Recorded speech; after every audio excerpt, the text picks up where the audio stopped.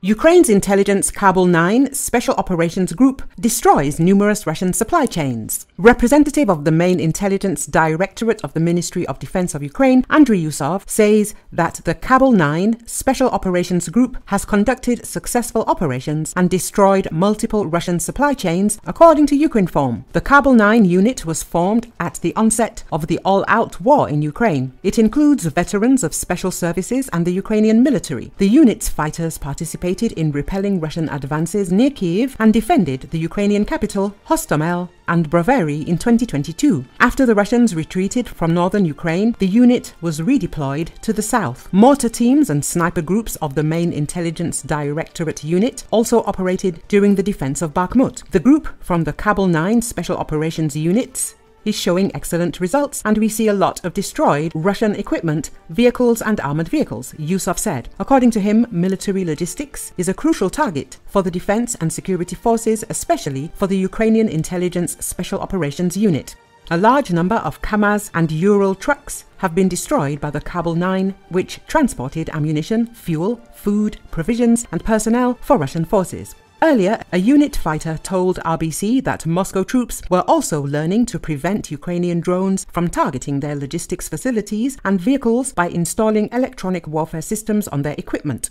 In addition, the Russians change the supply routes constantly and move at night or dark hours, covering from Ukraine's FPVs. Despite this, now we have also been supplied with night vision cameras, and there have already been numerous nighttime strikes when the enemy hasn't had the opportunity to escape. They still need to carry out their logistical tasks, so they are forced to take risks, the fighter explained. Special Operations Forces of Ukraine often report eliminating enemy personnel concentrations with FPV drones, with reports detailing the elimination of more than a dozen Russian soldiers during one successful mission, as well as the destruction of various pieces of military equipment, including armored personnel carriers, tanks, anti aircraft missile gun complexes, self propelled artillery pieces, howitzers, mortar positions, and TOS 1A 220mm Solntsepyok MLRS fitted with thermobaric warheads.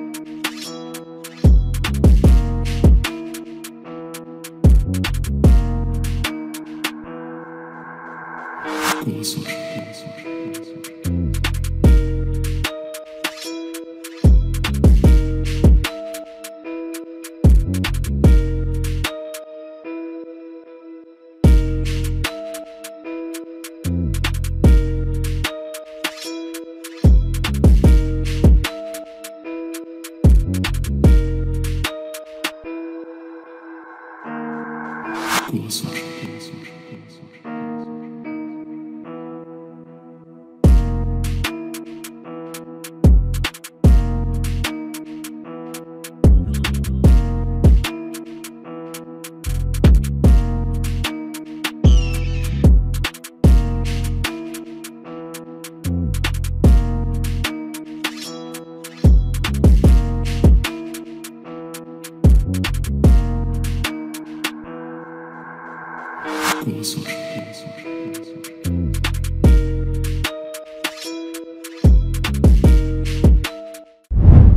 Сука.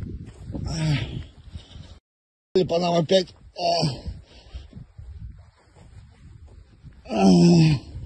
Машину перевернула.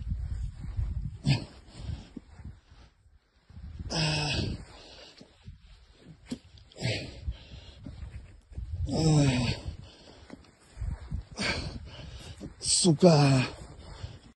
Блядь, я...